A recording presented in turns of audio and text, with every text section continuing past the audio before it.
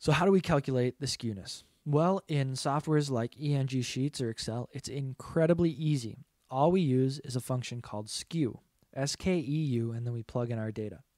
But let's say you want to do it by yourself, or in the case of later in this video, we are going to calculate the skewness ourselves just to kind of see how that can happen.